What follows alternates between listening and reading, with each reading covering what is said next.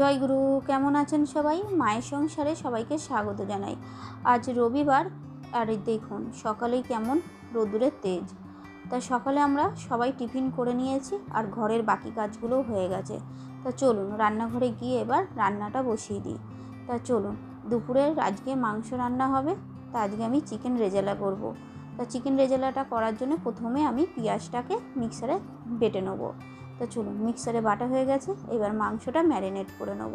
তার জন্য দিয়ে দিলাম আদা রসুন বাটা, পেঁয়াজ বাটা, আর দিয়ে দেবো অল্প লবণ, আর দিয়ে দিলাম কাশ্মীরি লঙ্কার গুঁড়ো। আর হ্যাঁ বলতে ভুলে গেছি, অল্প করে আমি ঝাল লঙ্কার গুঁড়োও দিয়ে দিয়েছি।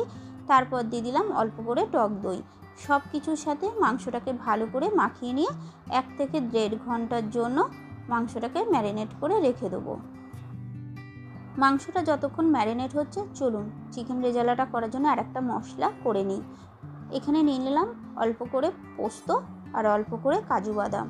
প্রথমে আমি পোস্ত আর কাজু বাদামটাকে শুকনো খোলায় গুঁড়িয়ে নিলাম তারপর অল্প জল দিয়ে ফাইন পেস্ট করে নিলাম। চলুন ঘরে গিয়ে দেখি বড় ইঁদুরটা লেংটি ইঁদুরটা কি করছে। কিছু নিয়ে একটা আলোচনা তো করছেই। কি ব্যবহার করে না? ডাম্বেলগুলো স্যার কিনে রেখেছে? তা স্যারকে বলবি তোকে দিয়ে দিতে। ভালোই হবে আর কিনতে লাগবে না আমার। স্যার বলছে ল্যান্ড ক্রুজার কিনবে আর এখানে আমি স্যারের বুলেটটাও একদিন নিয়ে বলবি স্যার আমাকে একটু চালাতে দিন এটা ধার হিসেবে। তাহলে স্যারের হার্ট ফেল হয়ে যাবে। থেকে আর তুই কি করছিস? ভালো কি ড্রয়িং করছিস? ও তুমিও সেই গাড়ি না সিনারি? কি তাহলে? তখন দেখাবি তো? ঠিক আছে ড্রয়িংটা করে নিয়ে কি করবি আর? খাবার আমার ডাম্বেল আনতে পারি। ইয়ে করো। হ্যাঁ। ডাম্বেল আরেকবার বল আরেকবার বল ডাম্বেল ডাম্বেল তোরা ওই করে যা পড়তে হবে না। এই বাবান পড়তে বস। কাল থেকে পরীক্ষা তো। হেল্প করব ভাই এই তোকে না একদম জম্বি মনে হচ্ছে। এক চোখ লাল এক চোখ লাল zombie নে, নে। হিসেবে কেটে নেব কিন্তু। আই তোকে খেলে এই বাবান বস। যা পশু পরীক্ষা শুরু হচ্ছে তো। এই বছরে প্ল্যান সর্টেড একদম।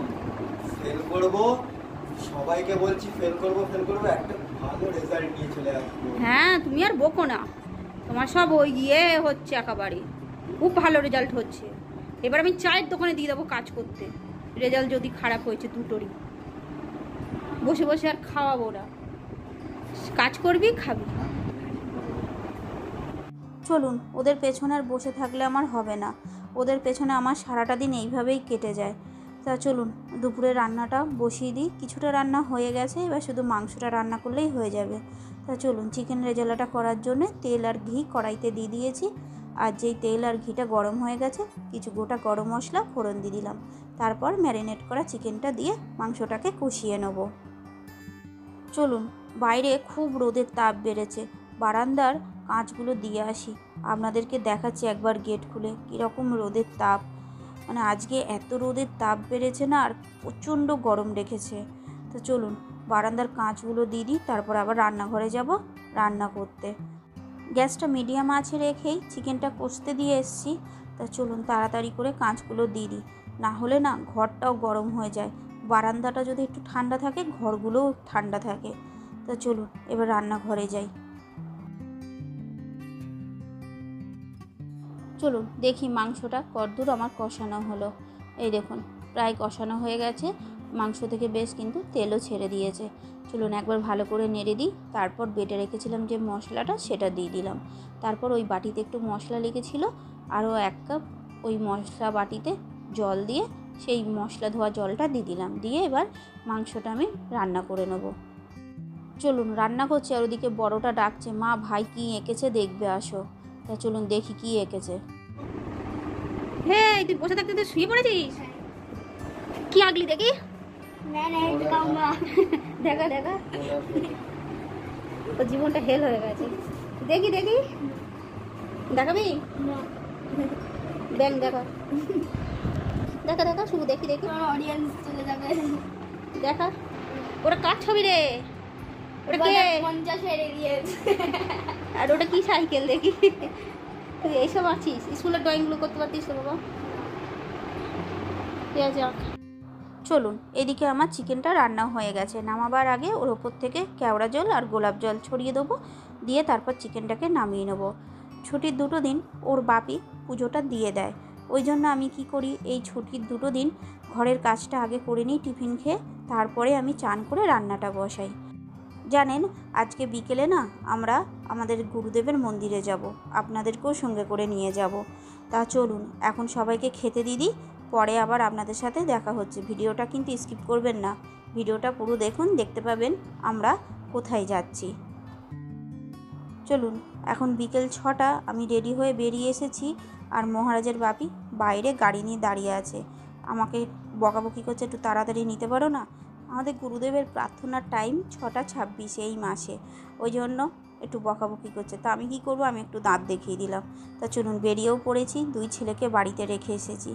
আর ওই দেখুন আইটিআই মোড়ে দুর্গাপুজোর প্যান্ডেল অনেকটাই কিন্তু হয়ে গেছে। তা চলুন এই দিকে আমি ক্যামেরাটা নিয়ে নিয়েছি আমার ডান দিকে। আর এই দেখুন, এটা হচ্ছে শুভমের এগ রোল। এই রোলটা কিন্তু কল্যাণীর মধ্যে খুবই নাম করা আর এটা হচ্ছে শুভমের বড় একটা রেস্টুরেন্ট। তা চলুন, এই রাস্তা ধরে আমরা সোজা আজকে আমাদের গুরুদেবের মন্দিরে যাব। একদিন সময় করে এই শুভমের রোলের দোকানটা আর রেস্টুরেন্টটায় নিয়ে যাওয়ার চেষ্টা করব। আর হ্যাঁ আপনারা যদি কমেন্ট করেন, জানতে চান যে রোলটা কেমন বা দেখতে চান, তাহলেই দেখাবো। তার আগে কিন্তু দেখাবো না। কারণ আপনারা কেউ কমেন্টই করেন না। আমার এটাই খুব খারাপ লাগে। আর লাইক তো দূরের কথা লাইকও করেন না। ওই জন্যই আমার কষ্টটা হচ্ছে। তা আপনারা যখন জানতে চাইবেন, দেখতে চাইবেন, তখন আমরা জানাব। তার আগে না।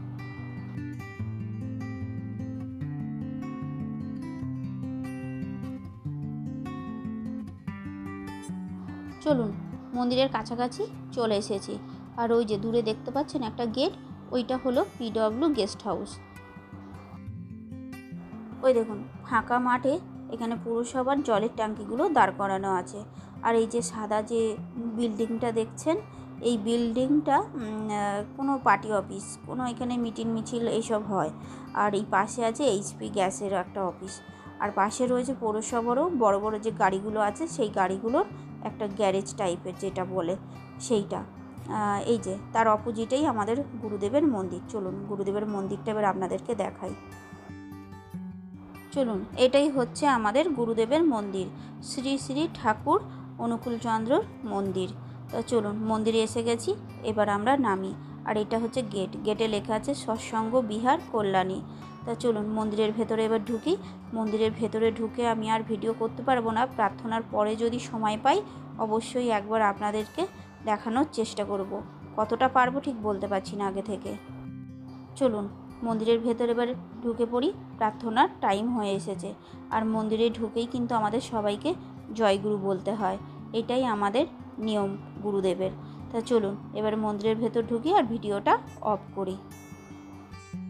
চলুন, আমাদের প্রার্থনা হয়ে গেছে। ব্রাহ্মণের কাছে অনুমতি নিয়ে তারপরেই ভিডিও করে আপনাদেরকে দেখাতে পাচ্ছি তা দেখুন, এই হচ্ছে আমাদের গুরুদেবের ফটো।